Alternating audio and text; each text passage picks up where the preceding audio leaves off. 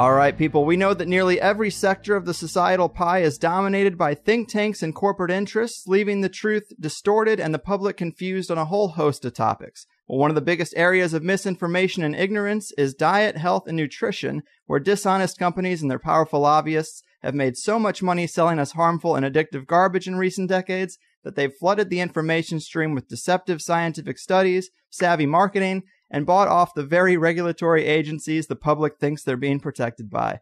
It's an unfortunate situation, and the main culprit at the heart of this quest for consumption clarity is sugar.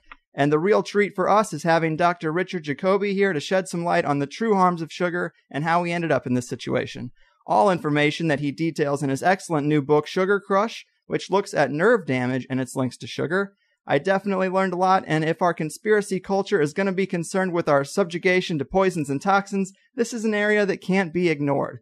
On top of being the author of a great new book, Dr. Jacoby is one of the country's leading peripheral nerve surgeons and co founder of the Scottsdale Healthcare Wound Management Center, and the former president of both the Arizona Podiatry Association and the Association of Extremity Nerve Surgeons. An impressive resume to say the least. Let's dive into it. Dr. Jacoby, welcome to THC. Well, thank you for having me. Yeah, man. Thanks so much for being here. The harmful effects of a high sugar diet is a subject I like to revisit when I find myself slipping. So I'm happy to be talking about it. And let me start with a question that also starts your book, because when thinking about the type of doctor that might write a book about the dangers of sugar, a podiatrist isn't the first type of doctor people might think of. So let me ask you, why a podiatrist? Well, we actually do get involved with sugar and its uh, manifestations in the lower extremity with gangrene and amputations. And that's what my orientation was about 30 years ago, 25 years ago, when I formed the Scottsdale Healthcare Wound Care Center, which is a big problem with the population in the United States. So that was my orientation uh, in the surg- from the surgical standpoint but I morphed over to more of the biochemistry and trying to find out why we're having this epidemic. And that's what the nature of this book is on nerves and its damage. Mm-hmm. Yeah, I mean, obviously, it ties into so many different illnesses, diseases, and disorders, way more than I even thought before I read the book. And the big one, of course, is diabetes. Most people are aware that diabetes and pre diabetes is on the rise and that it's directly related to sugar, but how bad is that problem really?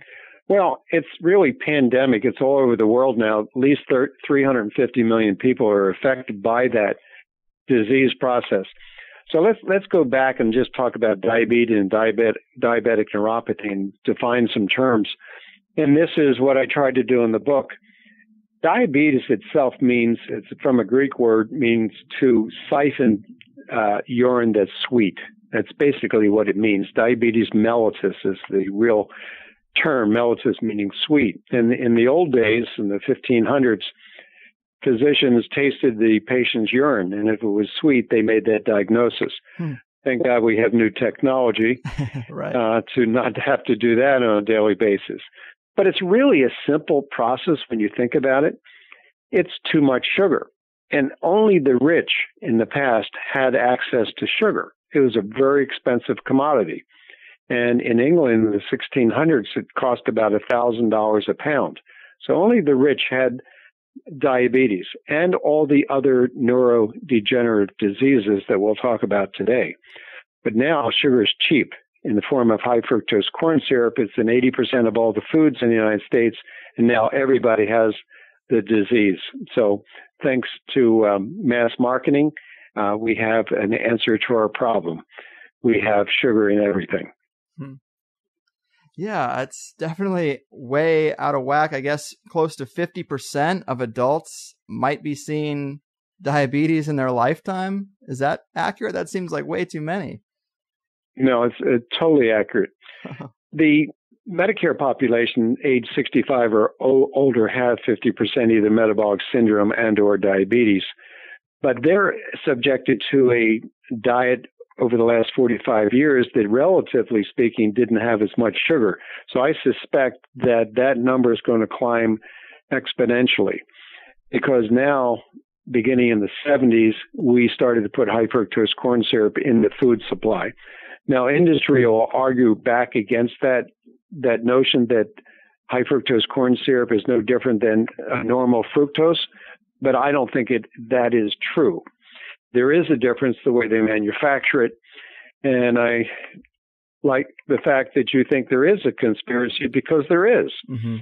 Most of the organizations that scientists are involved with are funded by these companies. And of course, they're going to ask for an answer that supports their notion that their food is good. Now, here's a perfect example, and this just happened over the weekend.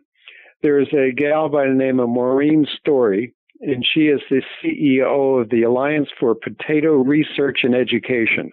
Hmm. She has been impressive. I, well, let's just call her Mrs. Potato Head. All right. and uh, she is um, she's an excellent scientist, no question about it. She got great uh, um, credentials, and she used to work for the um, um, the beverage industry. She also worked for Kellogg. So now she's working for potatoes and letting the world know that potatoes are the best thing since sliced bread. No pun intended there. it's all sugar. And a potato is a vegetable for sure, but it is the most starchy vegetable and the one that we like the best in forms of potato chips and French fries. And that's what got into the school lunch program. Now, she was just, she just replaced uh, an excellent journalist by the name of Nina Teicholz, who wrote an excellent book, and you may know this book, The Big Fat Surprise. Mm-hmm. And she was appointed to this government agency, but there was so much pushback from the other members who are all industry related. They all threatened to quit if she got onto the uh, to the committee. And why are they upset with her? Because she has written an excellent book dispelling the notion that fat is bad, fat is good. But we have been educated into ignorance over the last 50 years or so that fat is bad. We should take a statin drug cholesterol is bad, and that causes heart disease. Nothing could be further from the truth. Mm-hmm. So, industry will do whatever they can to buy the influence through the research to make their point known. And there's really very few people out there that are supporting the private industry, the people, to understand what we should be eating. Hopefully, my book does help in that regard. Right. Yeah, it definitely did for me. And I do want to get into that, what people should be eating. But to go back to the history just a little bit, I like that you have the example of the Native Americans in the book. And it kind of is a good case study for dietary change and what the data tells us. Tell us a little bit about the Native Americans as an example of the dangers of sugar. Yes. Well, I practice in Scottsdale, Arizona, and the reservation is a mere few blocks away in the Salt River Indian Reservation, and they have the highest rate of amputation in the world. 50% of their adults go on to have amputation from diabetes, which is interesting because when you look back in the 1800s, 1830s, when they were placed on reservations, they were hunter gatherers and they hunted buffalo and they ate meat. They did have some staples and, and the local tribes, but basically they were meat eaters and they were very lean because they had to be because they lived off the land. Once we put them on a reservation, we fed them wheat, lard, and sugar. And now they are probably the largest people on the planet. Mm. It's very common for them to be 400 pounds, and they are essentially all diabetic. Diabetes is not a genetic disease, and that's what we were taught.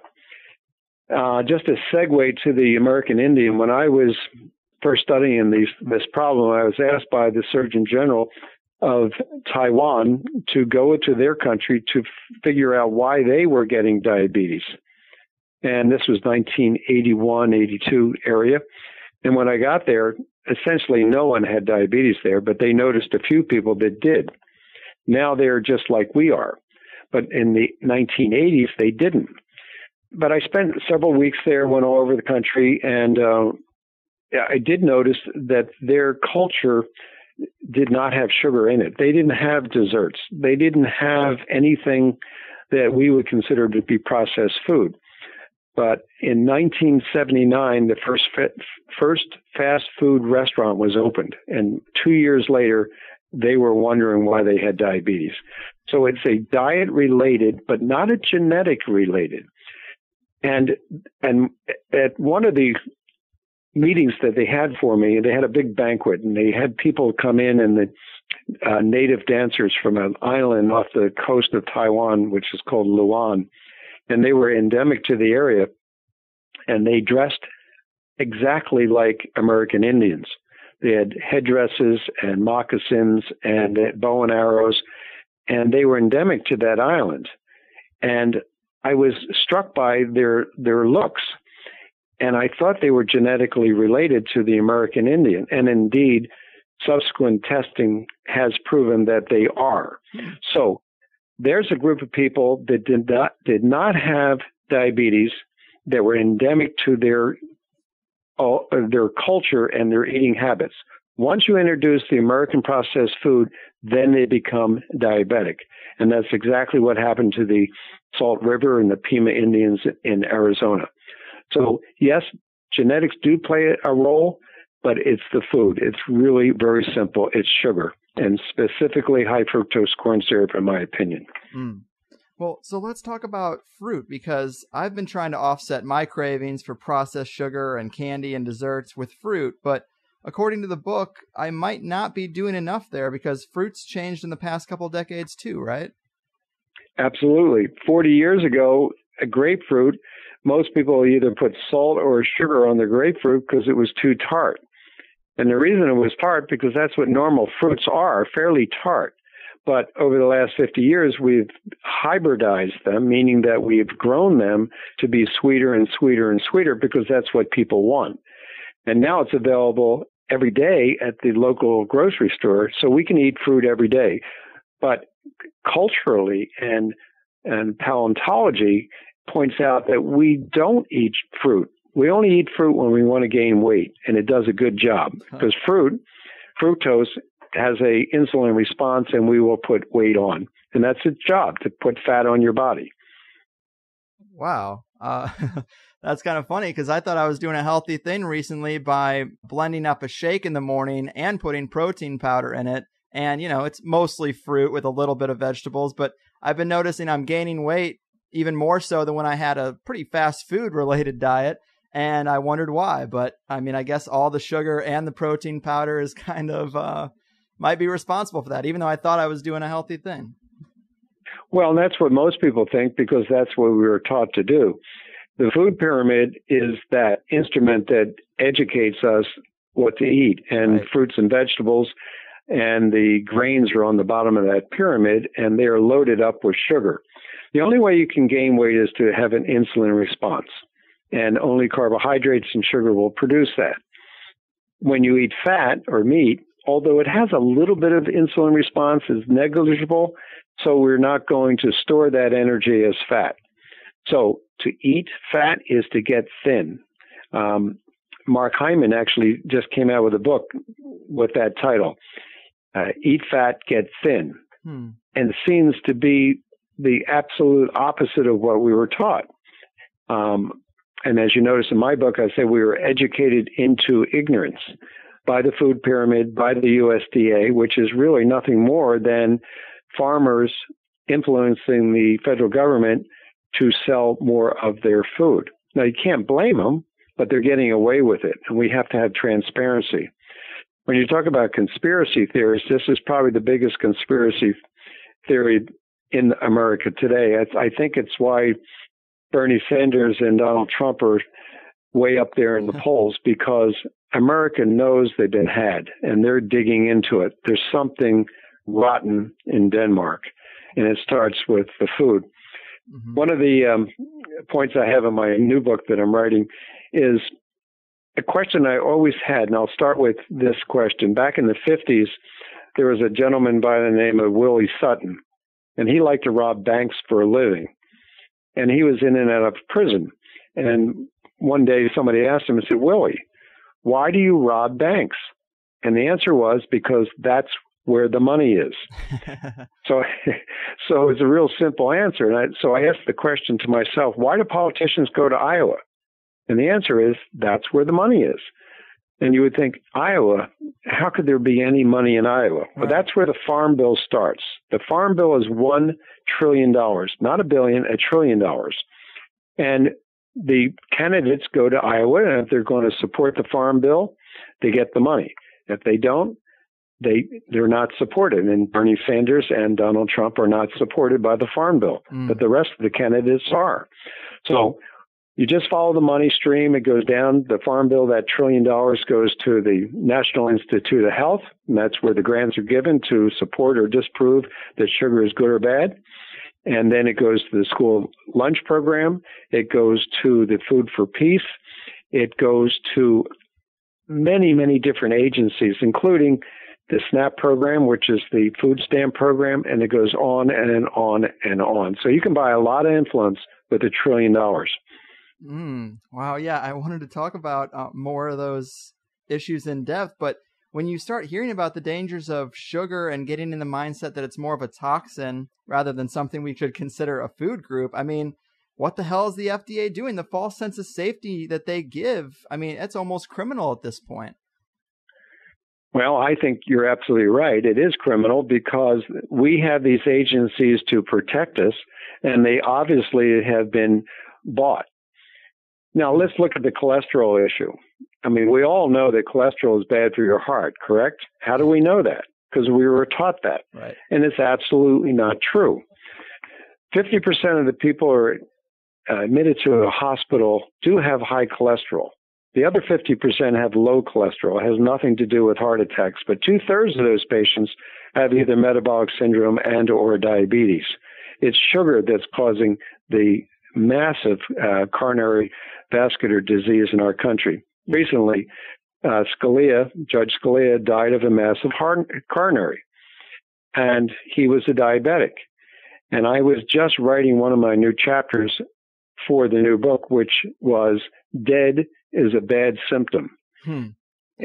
And what I mean by that is cardiac arrest is sudden and may not have any symptoms prior to it that or at least are related to the disease process. But if you look at sugar as a poison, you're being slowly poisoned to death. And the reason is is because it is ruining your B vitamins and thiamine in particular. And it's interesting that arsenic, also a poison that you can die slowly from, is sweet. That's why it was the poison of choice in the early 1900s because it wasn't detectable and people would keep eating the sweet, nice poison. Well, that's what I think our diet is sweet, nice poison in the form of high fructose corn syrup, affecting the same um, biochemical pathways as arsenic. So it's a huge problem. My book talks about the effects of sugar on nerves and the biochemistry of nerve compression. Mm-hmm. So when I first started to write the book, that was the that was the um, the theme of the book. But as I got into it, I realized I had to dispel this um, fat, evil companion to sugar. Fat is good, as long as it's grass fed and it's uh, omega 3 versus omega 6, which is a whole other chapter in the book. Um, so it's all interrelated. Mm-hmm. So one doctor is telling you one thing, um, have your cholesterol checked and put you on a statin drug. And then I come along and say, well, your peripheral neuropathy is caused by sugar and you shouldn't be on a statin drug because you shouldn't be eating sugar. You should be eating more fat. Now, what could be more confusing than that statement? right. And that cholesterol myth is so pervasive. I know, I mean, I'm 30 years old. My parents are both getting up there in age and they're worrying about their health more. And I hear them repeating those cholesterol myth type things. And you know, you try to combat it as best you can, but that generation in particular has really just gotten a, a, a raw deal in terms of true dietary nutritional information. And the cholesterol thing gets pretty severe because I've heard you say that it actually reduces IQ, which uh, some people might be pretty surprised by. Well, I, I, I do a little political joke when I'm giving lectures, and it's true. The higher your IQ, the higher your cholesterol. The lower your IQ, the lower your cholesterol. Mm-hmm. So it depends on what group I'm talking to. But I say if this continues, then everybody will be voting for Obama. That's funny. It gets, that it gets about fifty percent laugh, depending on. But the point is, cholesterol is necessary for brain function, and depriving the brain and or the heart cholesterol is is causing damage. It's a twenty nine billion dollar a year drug. Mm-hmm. Now, they can influence who writes the papers. Now, if I went to NIH and said, I'm going to write a paper on the evils of cholesterol and statin drugs, they would not fund me. Or if they did fund me, it wouldn't get printed. These agencies are dominated by private industry, right. pure and simple. Mm. And uh, another interesting thing, because the book is largely about nerve damage related to sugar, and some of the deeper stuff is a bit over my head, but one example that is really interesting is carpal tunnel syndrome. Talk to us about that and how it might might have more to do with sugar than keyboards necessarily.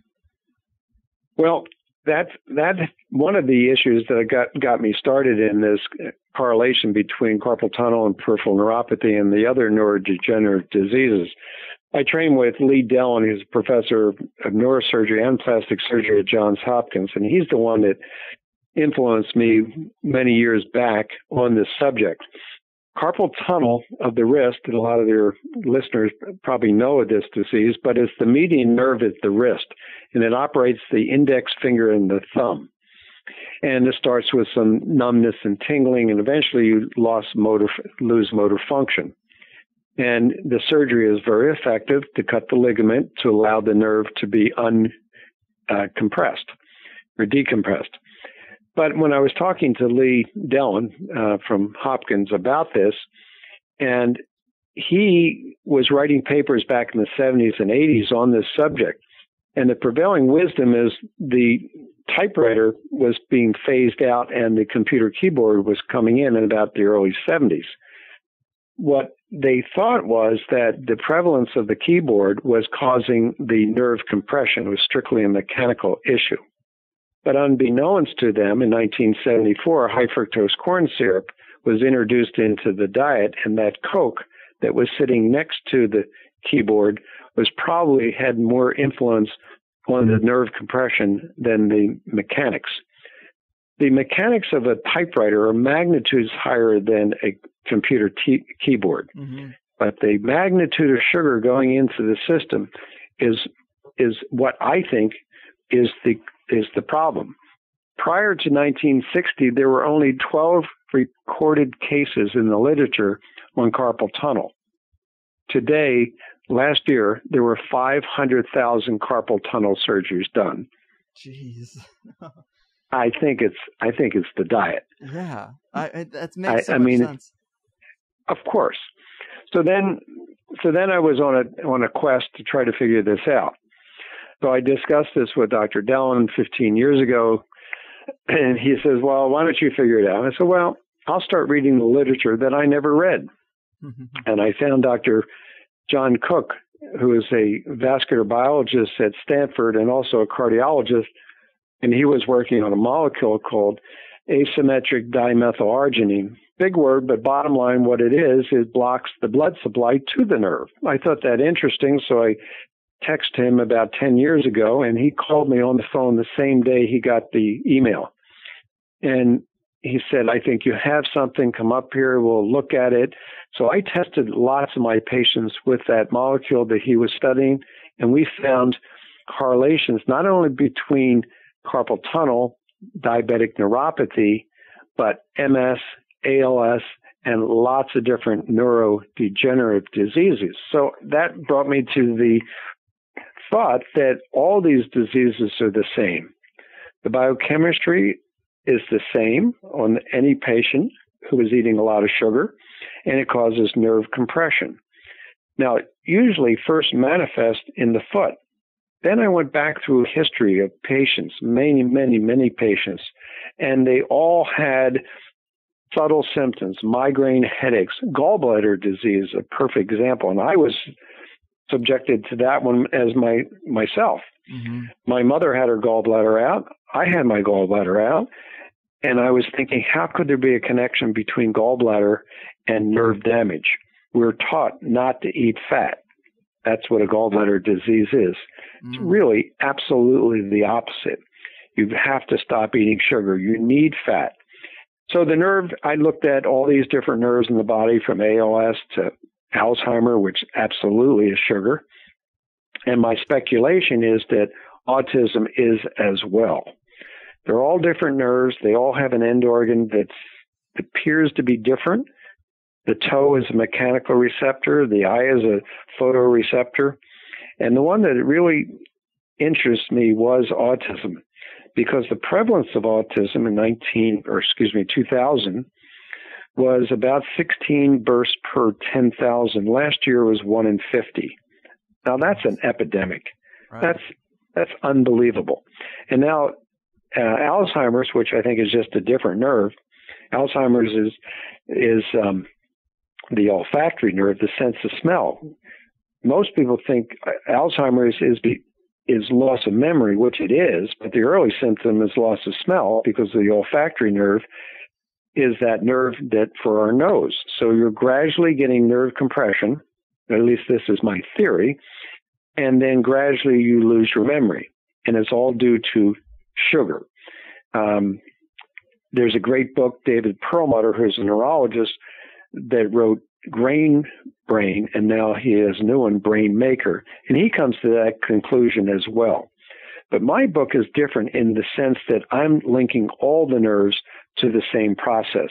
It's just the end organ is, is different, so the symptoms are different. Mm-hmm. And I think that's what happens with uh, autism. Uh, so, I mean, that's a, another big subject, but I think um, it needs to be fully explored because one in 50 births is an alarming number. It is. And, and, and it's not their fault. Alzheimer's, yes, maybe you're eating a lot of sugar, you know, you know you're doing it, and that's the end, end damage, self inflicted to some degree, but a lot of it is inflicted not knowing. But for a kid born into autistic spectrum disorder, that's a lifelong disability that is not their fault. And allow this food to be in our diets is is criminal, as you say. Right. And the autism link is a pretty big bombshell because being a conspiracy show, autism, everybody knows it's on the rise. The typical scapegoat is vaccines because people try to think of, you know, what happens around those years where people get autism. And that's kind of the thing people go to. But when you learn about sugar and you think of it as a poison, it gets really dark and sad to think that parents have a healthy child and are slowly poisoning their own kids and destroying their cognitive function. I mean, there's really no other way to put it if that is the link. Well, well, I think what um, what I've learned on the autism spectrum disorder, it's really a preconception problem. The parents are eating a lot of sugar. Most ah. most uh, pregnancies in the United States um, are not, or they don't happen under a strict diet. They um, happen with most likely a six pack of beer and a pizza. That's the planning. Jeez. I have a friend who's a um, uh, fertility specialist, OB-GYN especially. He has his patients who want to conceive who can't go on a very strict diet, a very clean diet. He has over 900 births, and not one of them has autistic spectrum disorder. Wow. And yes, so I think it is a preconception problem. It's a genetic problem from both the male and the female. There's a uh, neuro um, neurologic center in, in, Arizona called Barrows, and, and there's a neurogeneticist there um, who feels the same as I do, and it causes a epigenetic problem, and it, I believe, changes the genes that causes a protein not to be um, put down at a specific day after conception.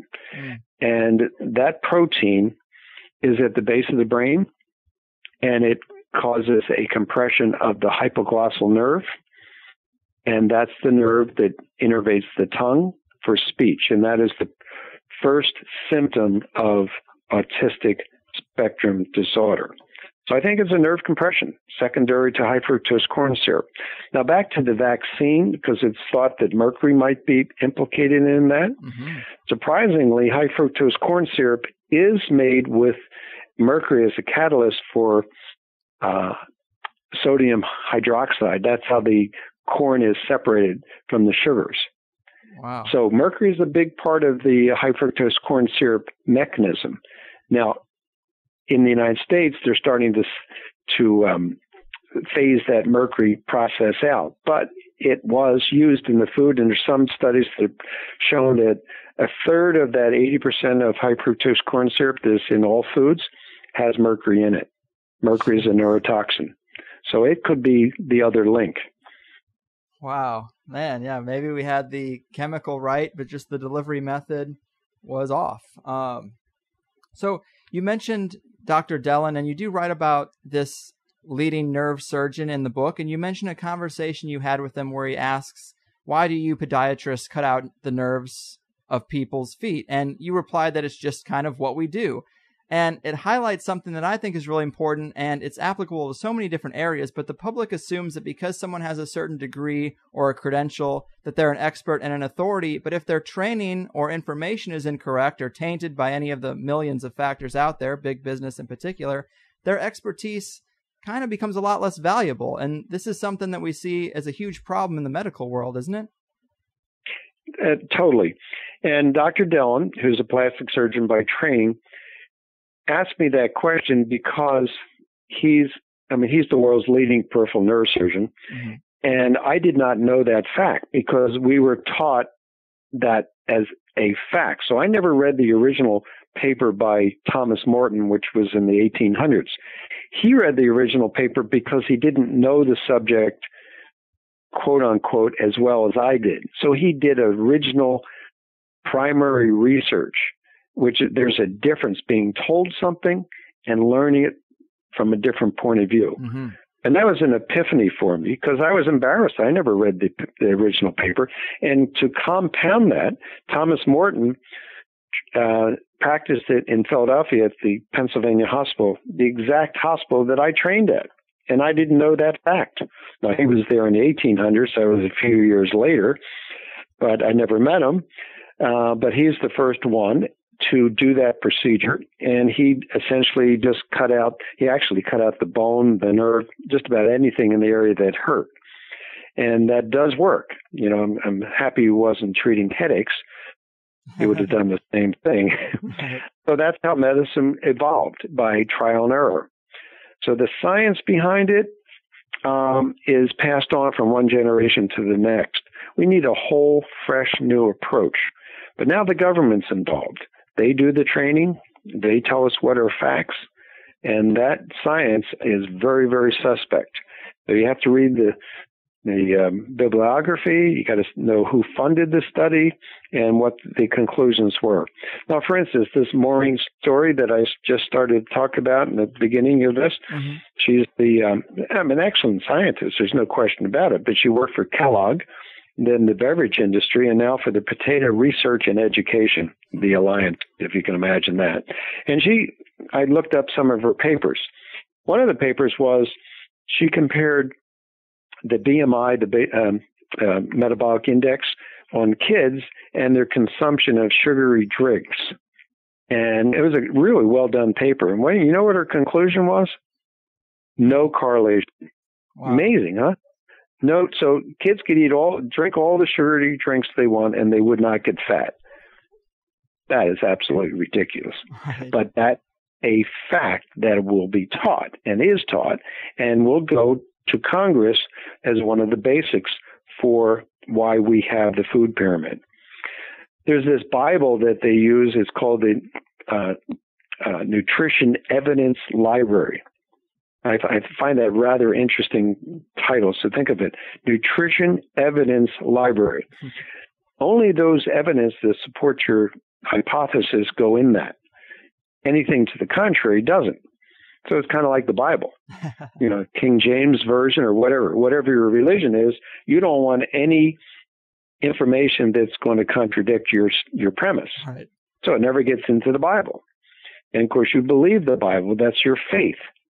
And you, and that's what Congress uses. So their faith and reliance is that fat is bad and cholesterol is the enemy. It needs to be stamped out. And the pharmaceutical companies took in $29 billion last year, doing a great job of getting America on statin drugs. Mm. So they did it. and, um, but I think Bernie and Donald uh, think there's something rotten out there, and, and they're absolutely right. Now, if we can get into the solution to the problem, I think the solution to the problem is really just transparency, labeling. Right. Industry should not dictate what is on the label. If they were proud of genetically modified foods, which is another part of this uh, equation, then why would you not want to put it on the label? I would be proud of it. This food contains genetically modified organisms, and we're going to charge you more for it because it's the greatest thing ever for your health. True. Why don't they say that? They don't want you to know it because they know it's absolutely not true. Mm-hmm.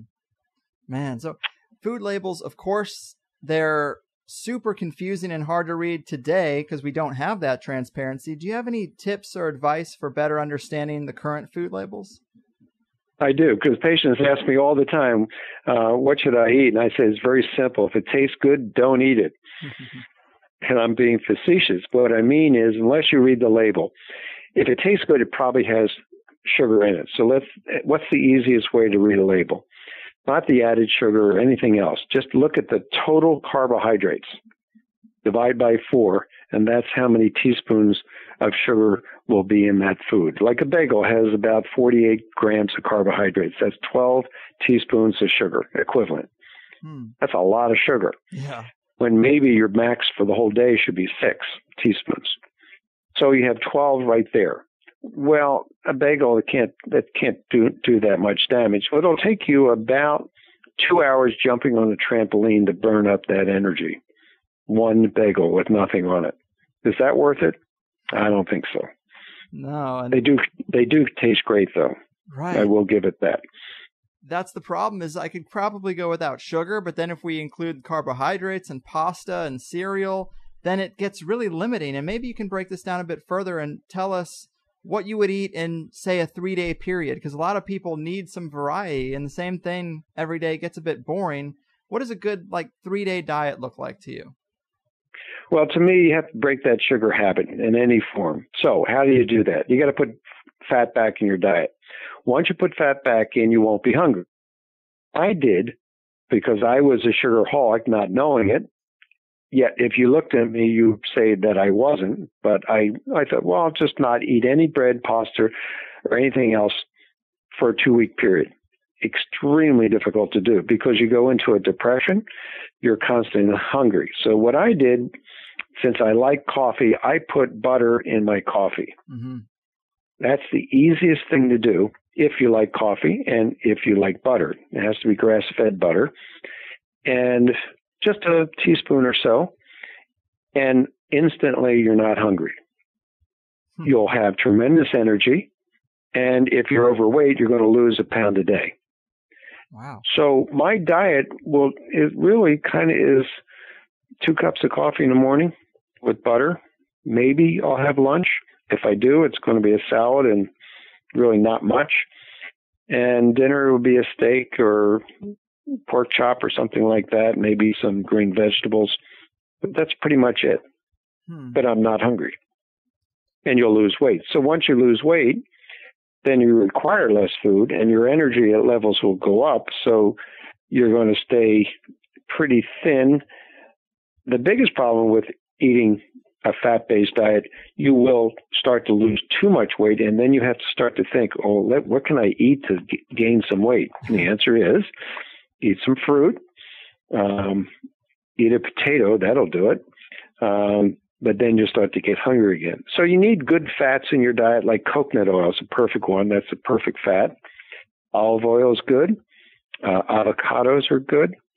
But I love butter, so I I like to put butter in my coffee, and that's to me that's the easiest thing to do. Yeah, I've been using a whole lot of butter, grass fed, of course. When I make a steak, also grass fed. Um, but it's just getting a variety because I've had so many steaks. I'm like, huh, I got to get something else in here. But you know, I'm not even really a coffee drinker because I just don't crave it, and it isn't typically considered necessarily good for you. But the grass-fed butter in the diet trend is getting more and more popular. I mean, funny enough, I think the last health-related show I did was with Dave Asprey about a year ago or so, talking about the whole bulletproof coffee thing. But if you're not really a coffee drinker, is it better to just keep it out of your diet, or is are these benefits such a net positive that it should be considered regardless? I'm thinking it's a net positive. Now, the Tibetans use a tea mixture with uh, uh, yak butter. If you have a yak around, that would be, I don't know what that tastes like, but basically, it, the the theory is you need you need fats. The body operates on fat. Never, it doesn't operate on sugar. Mm-hmm. And we've been taught that it does. It absolutely does not. Uh, carbohydrate is not a essential nutrient. I'll repeat that. It's not, and if you never had another carb in your life, you would you would be healthier and healthier. That's the ketogenic diet, right? And the keto, right? So that's what it.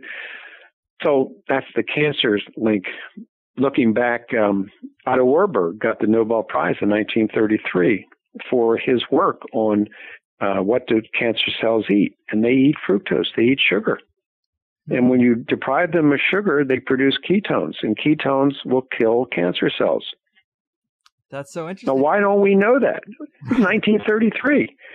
God. So we give them chemotherapy, give them Ensure to keep their weight up, which is really nothing but sugar in the hospital. And then we do PET scans to see if this cancer has come back. Because the PET scan is really measuring the amount of sugars being used in the cell at the mitochondrial level. So that's mm-hmm. kind of silly. So I tell my patients it's like you have roaches in the kitchen. Yes. And you spray the roaches with Raid, but never clean up the sugar and go back six months later. Do you think the roaches will be back? Absolutely. That's cancer. Yeah, I thought but that was a great analogy. Not, yeah, I mean, that's not my field, but my field is nerves and peripheral neuropathy. But when I did the research for this book, I came up with all these things that are ingrained in my mind as to be truths, which are absolutely just anecdotal evidence that's been passed down over the years. And it's it's a shame. Can you imagine going forward, here's a typical woman in her 40s or 50s. She has breast cancer caused by sugar. And she's got a kid with autistic spectrum disorder, and one of her parents has Alzheimer's. Oh. How's that for a scenario? Wow. That's America. God, man. It is. It is. Those are the, the big things that people are getting. And when you put it like that, it can all be affecting one family. And it's as simple as cutting sugar out of the diet. I mean, you've you talk about in the book that you've had to amputate legs before. You deal with that, amputating feet and limbs. And that is how bad the addiction is. I mean, if you had a relative that was so addicted to cocaine or marijuana or alcohol that they were getting limbs removed, of course, alcohol is related to sugar too, but you would be like, man, you got a serious problem. But we just kind of allow people to be addicted to sugar and it's not treated nearly as seriously. No, it's not. But I think you know our culture is um, mass media culture. Very few people read books, and if they do, they they um, tend to read novels. So this book is not a novel. My next one, I think, I'm, it, we're trying to put it more over to the conspiracy that people like conspiracies, mm-hmm. which is probably the biggest one going. Uh, how did it happen? My agent in New York, his name is Al Zuckerman. When I wrote this book, He's I call him Mr. Big because he's the agent to Stephen King, Stephen Hawking's, uh, just about any any big writer. And I was amazed that he took my book, but he was he was really behind the project, and he wants my new book to be very similar to Michael Lewis's book, which is The Big Short. He's the agent for Michael Lewis. Mm. He said you got to. He said you got to humanize this more. You have too much science in the book. so I'm going to try to write it that way when it's being rewritten as we speak. And um, it is The Big Short. That most people don't understand uh, mortgage derivatives, but they do understand the damage that it caused yeah. by the the um, misinformation, and there can't be any more misinformation than food. We are taught that medicine is going to correct everything. Absolutely not true. This diabetes medicine myth is ridiculous. All these medicines do are allow us to eat more sugar. Every one of the medicines, even insulin. Yeah. Um, type 1, if you're born without a pancreas, yeah, you're going to die unless you have insulin. Everything else is type 2, it's self induced. And first thing you do is stop the sugar. I mean, completely. But they don't. They give them metformin, glipizide, every conceivable drug you can think of. Now, the new one is uh, kidney drugs to pump the sugar out of your urine so you can eat more sugar. That's really what it is. Mm-hmm. And we're paying for it through our Medicare, which is broke. Our Social Security system is broke. Right. And it's all because of this misinformation. That's true. Well, Doc, that pretty much brings us to the end of the line. I very much appreciate you being here. A lot of doctors and nutritionists kind of avoid my request because to be on a show that is uh, comfortable being called a conspiracy show, they sometimes opt out and instead go on, uh, you know, the health and diet themed programs, which in my opinion is kind of just preaching to the choir. I think the people who don't have diet and nutrition on their radar, those are the ones that need to be reached. So hopefully we're doing some good stuff because if people are going to start screaming about chemtrails and vaccines, but yet they're drinking soda and eating fast food, I mean, they're kind of missing a crucial element of damage that's being done to them. So I do appreciate it. Big thanks. And uh, maybe before we go, you could remind people about the book, where to get it, and anything else you might want them to know to follow up on you and your work. Well, I have a website, Sugar Crush the Book. Uh, it just came out in paperback form about a month ago, and Amazon picked it as number one new release. Barnes and Noble has it, and most of the private bookstores have it as well. Awesome. Well, you're doing a noble thing. Thanks again. And I hope some of us have been scared straight today. Keep doing what you do out there. I appreciate being on your show. You're doing a great job. Thanks. Boom, people. Dr. Richard P. Jacoby, really intelligent and accomplished guy. We all know sugar is bad. I don't think we're shocking anybody here, but I think the way Dr. Jacoby reframes the situation could cause a few aha moments out there. I know I loved the little history lessons. I loved the Native American data the little realization that neither fruit nor wheat are the same as they used to be. Also, to read about these links to bad allergies and restless leg syndrome, these are the two biggest ongoing issues for me. I realize they are minor compared to a lot of people, so I've just learned to live with them. But this show kind of woke me up that maybe my diet is responsible for these things and it isn't just part of life that, you know, you got to have something wrong with you. And the truth is, I'm not going to just be able to cut back a little here, skip a day there. It's got to be a real life change. We all got to realize that because when Dr. Jacoby laid out the scenario of a person who's diabetic, who has a kid on the autism scale, and a parent with Alzheimer's, and this can all be linked to sugar, I mean, you got to be fucking kidding me, guys, you know? But the links to my specific semi conditions really did help. If you have allergies, before you take in carbs or sugar, think about how annoying your allergies are and imagine that not eating that cupcake or drinking that Coke would be more effective than just taking a Benadryl later or whatever. That's been really helping me with the struggle this week. But a lot of people have this mindset, I know I've been guilty of it, where we think, oh, we'll stop when it becomes a problem. I can just eat junk food for now or smoke cigarettes for now, but as soon as any real red flags go up, I'll just stop. But that is such a mind game because if you don't have the willpower to quit now, why would you have it then? It's better to spend a couple of months going through a major overhaul of slipping up here and there, the ebb and flow of breaking an addiction, going through all of that, but eventually finding a balance before anything goes seriously wrong. What's the point of eating right if you're already kind of broken and can't truly experience the benefits of doing it right?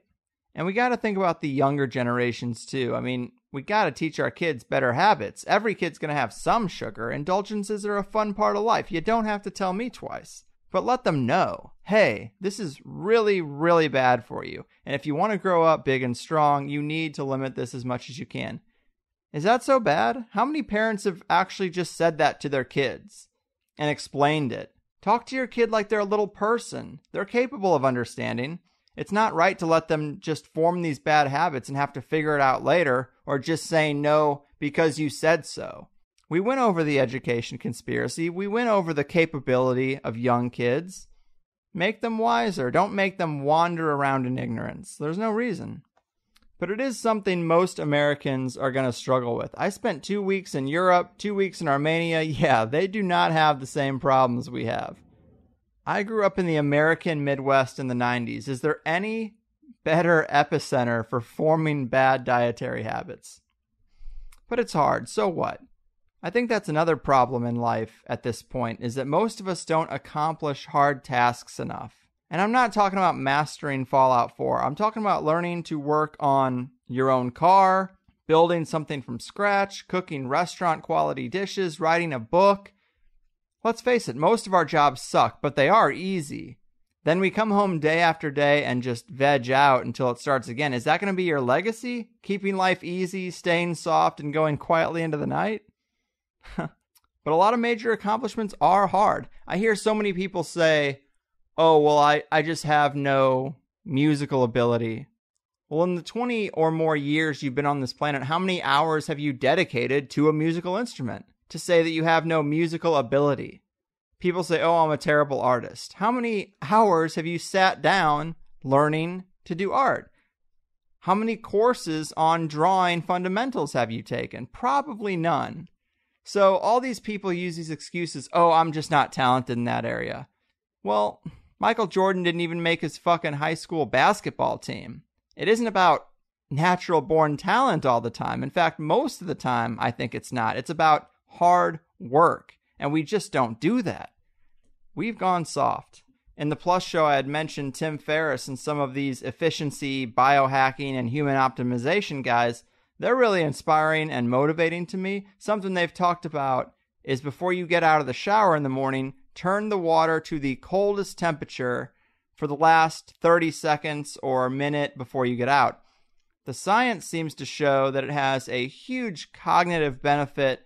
It really gets your blood flowing, gets your energy levels up, all that good stuff. So I've been doing it for the past month or so, and it really does work. It sounds a bit goofy, but when you think about it, your whole day is going to seem so easy by comparison because honestly, what about a typical humdrum American life is going to be more difficult than taking freezing cold water on your naked body for 45 seconds. Almost nothing, right? So it puts you in a weird mind state of, I'm a bad motherfucker, and I'm ready to rear naked choke the hell out of this day. And all you did was turn a knob. It's a nice little hack. And it really, really does suck when it's happening, but for the next eight hours, you're probably going to feel great. It's a solid trade off. I'd say give it a try. Either way, I hope this show helped the ones who do struggle with diet. I know I get a lot of shit for not carrying triple X large shirts with conspiracies. Once a week at least someone will complain, but the truth is, firstly, to give me shit for that suggests that all these other brands have triple X sizes, and that is just not true. So I don't know why people are that surprised when I don't. And I know there can be several reasons why someone might need a triple X shirt, but I'm willing to bet that nine out of the 10 of those people don't have their diet dialed in correctly. Or they don't really exercise. Or maybe they over, over exercise, in which case, you know, slow down, buddy. Anyway, but instead of thinking about some of those things and looking internally, they complain to me. I've gotten accused of discrimination over this, but honestly, we live in a world of small, medium, large, extra large and I'll give you extra, extra large as a buffer. But if you need a shirt that is an extra, extra, extra large to cover your body, you really need to take a good internal look at why you are so far off the mark instead of whining about a clothing brand that doesn't cater to what really is an enormous size. Not to be rude, enormous is just another word for extra, extra, extra large, right? But again, we've gone soft physically, mentally, emotionally, and I think we need to withstand some cold showers, hear some harsh words, and face some uncomfortable truths. Otherwise, we just don't get better. I also thought some of the added facts about diabetes were interesting. The good doctor had mentioned that it's not hereditary, it's dietary. And when you think about it, of course the two get mixed up because our dietary habits are formed in the family. So the quote unquote disease isn't hereditary, but the mechanism that causes it certainly is. And think about that. Think about how you look and what sort of message that sends to your own kids and family. It's important, but culturally, we've nerfed all of our language, and especially when it comes to weight and diet. Would anyone be surprised if there were meetings a few years ago in the Pepsi, Hershey's, and McDonald's boardrooms where they said, Look, people are getting super fat, and it's because of our foods, and the data shows that jokes, comments, and social commentary on obesity are on the rise. This is bad for business. We need to really push this new term fat shaming and really create this culture of safe spaces and push back against those criticisms as prejudice. You know what I'm saying? I could see that meeting taking place dozens and dozens of times. So let's lose all that and have those difficult conversations. You get the idea. If you have a problem with diet, you know it, and you need to toughen up and change it. Are you going to be so weak that you're beaten by cupcakes, pizza, and cola? Nah, otherwise, what's the point? Well, guys, if you want to hear the second hour of my talk with Dr. Jacoby and all the great guests on THC, sign up for the Plus membership at thehighersidechatsplus.com. And that's going to be it for me. I've done what I can. And today it's your move, dear listeners. Your fucking move.